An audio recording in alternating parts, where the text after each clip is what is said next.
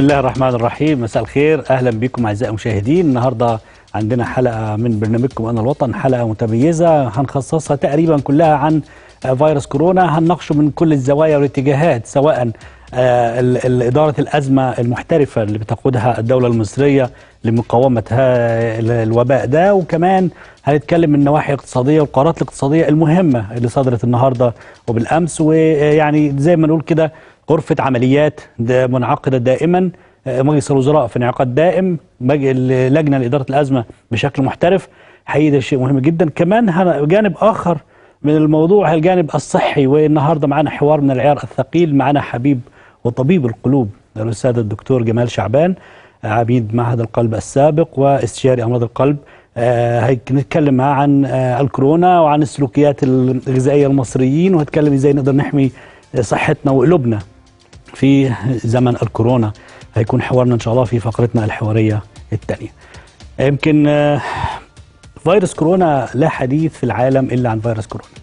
الحقيقة من انتشار فيروس كورونا عالميا وإعلام منظمة الصحة العالمية تحوله إلى وباء و...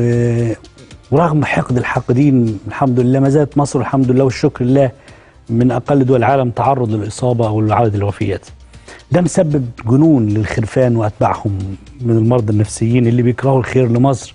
آه، يعني بعيد بقى عن آه، لكن كانوا إيه؟ مش عارف أقول عنهم إيه. لكن بعيد عن الخرفان بقى وأتباعهم من قنوات الشرق ومكملين والخنز والخنزيرة وال والجرايد بتاعتهم زي الجارديان والقصص دي كلها.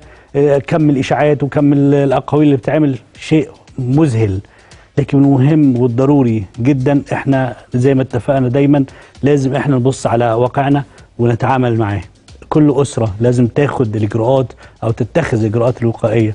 النض عملية النظافة والتطهير بشكل مستمر وتقليل الخروج لأي تجمعات. يا جماعة الأجازة والله واخدينها عشان بدل ما نتعزل جبر جبرا في البيت أو حظر تجوال إحنا قاعدين بنقعد باختيارنا نقعد نتفرج على التلفزيون نقعد بلاش نخرج اليومين دول.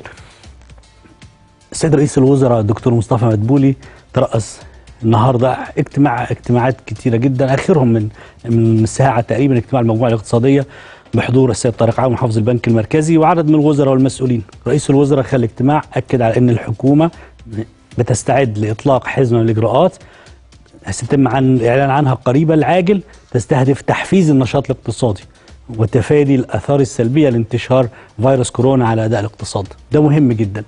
كما ستسهم الإجراءات دي في تنشيط البورصة المصرية. أضاف رئيس الوزراء إن الزيادة اللي سوف تشهدها موازنه الخطة الاستثمارية للعام المالي القادم هتكون غير مسبوقة وهتسهم كمان في تعزيز الإجراءات التحفيزية وتقليل الاثار السلبية الناجمة عن فيروس كورونا. ناحية تانية كمان في إطار حرص الحكومة آه، على سلامة المواطن النهاردة قرر رئيس مجلس الوزراء الدكتور مصطفى مدبولي تعليق حركة الطيران في المطارات المصرية بداية من ظهر يوم الخميس اللي جاي لغاية نهاية الشهر مارس. وأكد رئيس الوزراء أن المجلس هيصدر قرارات خلال ساعات قليلة قرارا بتنظيم آه، آه، أو تخفيض تواجد عدد العاملين في أجهزة الدولة والمصالح الحكومية. ونداء وجهه رئيس الوزراء ناشد المواطنين المصريين بعدم التكالب على السلع في السوبر ماركت والمحلات المختلفة. اللي إحنا بنشوف خلال اللي دول مهزلة ودعا الأسر المصرية بعدم الاستخفاف بكورونا وكمان يمكن الرئيس السيسي في يمكن من يومين خصص 100 مليار جنيه لتمويل الخطة الشاملة وما تضمنه وتضمنه من إجراءات احترازية ضد فيروس كورونا.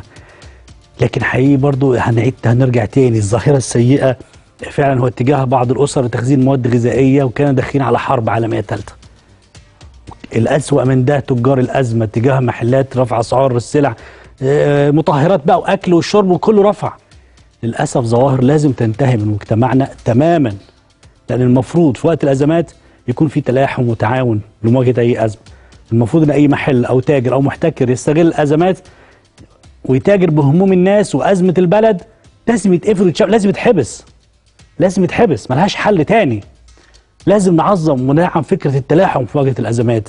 لأنها حقيقي من أجمل وأقوى مميزات الشعب المصري. دعوة مننا للمصريين وأنا أثق إن شاء الله أن المصريين هيكونوا على قدر مسؤولية مواجهة آه، آه، هذا الوباء. فاجئنا وفاجئ